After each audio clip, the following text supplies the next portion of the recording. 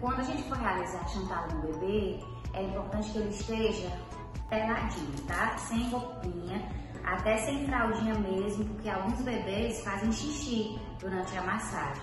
Eles ficam tão à vontade que eles fazem xixi. E assim, a chantala, ela é uma técnica muito particular de cada, de cada mãe, de cada cuidador, porque existe um princípio, né? Uma, uma técnica que a gente faz de inicial, porém ela é muito adaptável, a gente vai mudando de acordo com o que a gente vê com que o bebê vai gostando, do, de acordo com a gente, da idade do bebê, dos estímulos que ele vai precisando. Então, assim, cada mãe vai adaptando de acordo com a vivência com o bebê, né?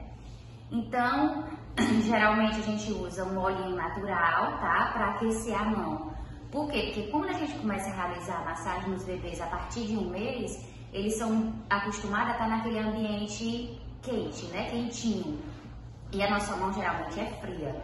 Então, depois de higienizar, coloca um pouquinho de óleo mineral na mão, tá? E esfrega bastante, certo? Para quê? Para esquentar a mão, para quando você for aquele toque no bebê, não espantar, né? Então, esfrega, esfrega, esfrega. E procurar sempre, quando for realizar a massagem, olhar para o bebê, olho a olho, para que ele passe a confiar em você, para que ele sinta. Então, aqui, como a gente já fez esse toque no tórax, a gente, de certa forma, já criou um elo e uma confiança do bebê. Então, a gente começa a fazer a massagenzinha no rosto. Para quê? Para desobstruir essas vias aéreas aqui superiores, onde fica aquela secreçãozinha, né? Então a gente estimula, certo? Tem bebês que aceitam e tem bebês que não aceitam. Então, tranquilo, certo? Então você faz esse movimento circular, tá? No bebê. E faz esse movimento estimulando a bochechinha também, tá certo?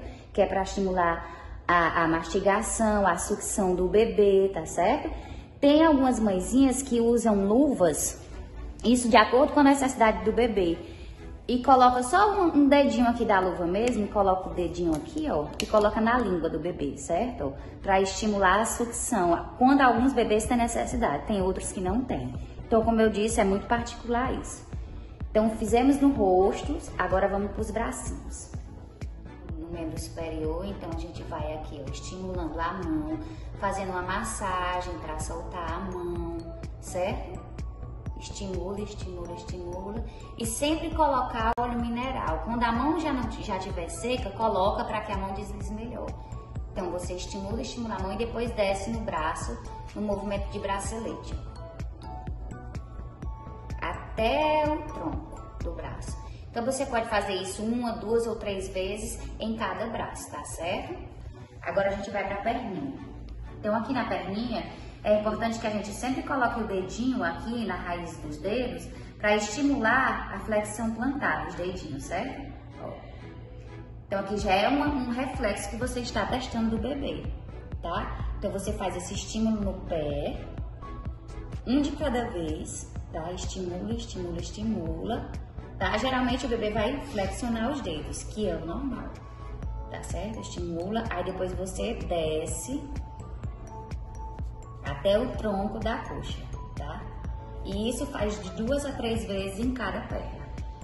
Agora a gente vai para as costas. Onde nas costas a gente pode fazer ou essa postura, que isso aqui é no caso de bebê maiores que já gostam dessa postura, ou essa postura aqui, esticando as pernas tá certo? Isso requer uma postura da pessoa que está fazendo, né? Do massageador. Então você coloca o bebê nessa postura, o bebê nessa postura que você estimula tanto a, a sustentação do, do, tronco, certo? Que o bebê vai ter que ficar com a cabecinha elevada aqui, então já estimula essa elevação do tronco, já estimula o abdômen também e o engatear, tá certo? Não é uma coisa que é para ser estimulada, tá? Não é, é uma posição que vai só incentivar o bebê a fazer isso, não um estímulo total, tá certo?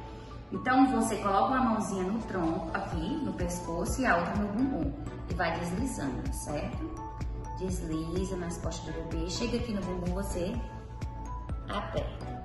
Voltou e desliza nas costas do bebê, chega no bumbum, você aperta. Então, assim, você pode fazer inúmeras vezes de acordo com que ele vá gostando e que você tenha tempo também para fazer, né? Pega as perninhas também e flexiona juntas, tá? Juntas as perninhas do bebê. Aqui você estimula a posição de gatos, né? Que é a posição de gato, que é a estimulação, a posição de engate. Ela é basicamente isso, né? Como a Vivian falou, que realmente depende mãe para o cuidador, depende mãe para o cuidador também que está fazendo a massagem de criança para criança. E espero que vocês estejam